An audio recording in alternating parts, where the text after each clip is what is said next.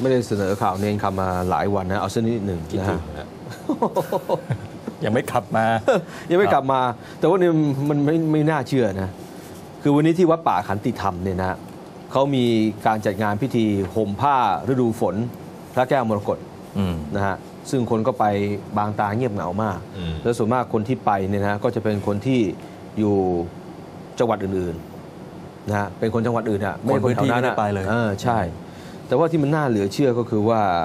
คุณสุขุมวงศ์ประสิทธิ์ประธานเครือข่ายบ้านวิมุตติธรรมเนี่ยนะฮะเขายอมเขาออกมาบอกนะครับว่า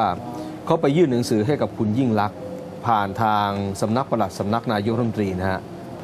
ขอเชิญคุณยิ่งลักษณ์นายกรัฐมนตรีเนี่ยมาเป็นแขกคนสำคัญ ในงานมหาพิธีห่มผ้าฤดูฝน พระแก้วมรกตจำลอง วันที่ 30 กันยายนนี้ นี่ตอนนี้หนังสือถึงมือนายกรัฐมนตรีแล้วครับซึ่งงานนี้เป็นงานสำคัญครั้งประวัติศาสตร์นะฮะก็เชื่อว่านายกรัฐมนตรีจะมีความเมตตา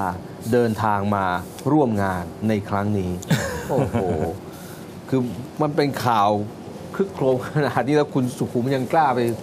ทำหนังสือเชิญนายกมา มาร่วมงานนี้อะคิดดูแล้วกันคือถ้าเกิดเผื่อฟลุกนายกมานี่ก็เป็นยันกันไว้เลยอะโอ้โหใช่ไหมฮะว่านายกให้เกียรติมาฉะนั้นเนี่ยใช่ไหมเอ่อสำนักนี้ก็จะค่อนข้างแบบดูดีขึ้นมาทันทีเออโอ้ช่างกล้านะเนี่ยคนธรรมดาสามัญทั่วไปเขายังยังแทบไม่อยากจะไปเลยอืมครับ เอาให้เนนคำกลับมาก่อนเถอะใช่ แล้วถามว่าเนนเนนคำเมื่อไหร่จะกลับมา ตอนนี้มีสัญญาณที่ดี ที่เนนคำน่าจะกลับเมืองไทยเออ สัญญาณที่ดีเนนคำอย่างกับมนุษย์ต่างดาว แล้วก็บอกว่าอะไรนะ ญาติโยมในประเทศไทยนับล้าน รอคอยการกลับมาของท่านอยู่เช่นกัน ใช่ ถูกต้องฮะใช่เขารออยู่ก็รออยู่เขารออยู่ครับ